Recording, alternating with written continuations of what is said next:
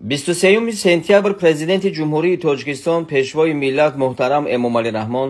дар шаҳри ню йорк дар ҳошияи иҷлоси маҷмӯаи умумии созмони милали муттаҳид бо раиси ҷумҳурии исломии эрон муҳтарам масъуд пизишкиён мулоқот намуданд дар вохӯри маҷмӯи масоили ҳамкории тоҷикистону эрон баррасӣ гардид президенти кишвар муҳтарам эмомалӣ раҳмон аз рушду тавсияи назарраси равобити дӯстиву бародарӣ ва ҳамкории мутақобилансудманд бо ҷумҳурии исломии эрон ёдовар шуда.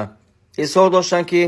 мо омодаем минбаъд низ барои тақвияти он тадбирҳои муштаракӣ амалӣ андешем. Ба густариши муносибатҳо дар бахшҳои афзалиятноки иқтисоду тиҷорат тақвияти равобити илмию омӯзишӣ ва таълимии ду кишвар ва рушди ҳамкории фарҳангӣ таваҷҷӯҳи зиёд зоҳир гардид барномаи дарозмуддати ҳамкории иқтисодиву тиҷоратии ду кишвар то соли 2003 ҳамкории амалӣ дар доираи комиссияи муштараки байниҳукуматӣ